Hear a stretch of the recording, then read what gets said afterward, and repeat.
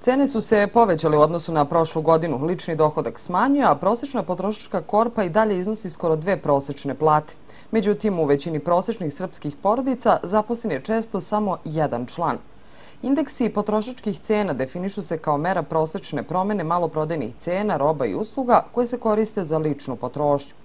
Cene ovih proizvoda i usluga u junu tekuće godine u odnosu na maj 2015. u proseku su povećane za 0,5 procenata. Potrošačke cene u junu tekuće godine u poređenju sa istim mesecom prethodne godine povećane su za 1,9 procenata, a u odnosu na decembar 2014. godine za 2,1 odsto.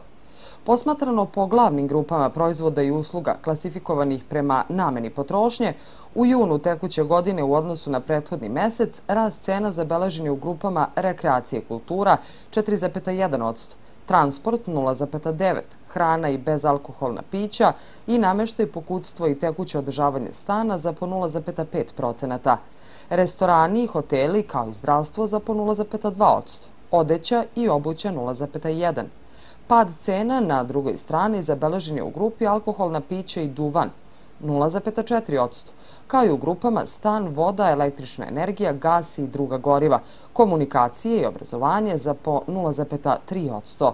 Cene ostalih proizvoda i usluga nisu se bitnije menjale, posljednji su podaci Republičkog zavoda za statistiku.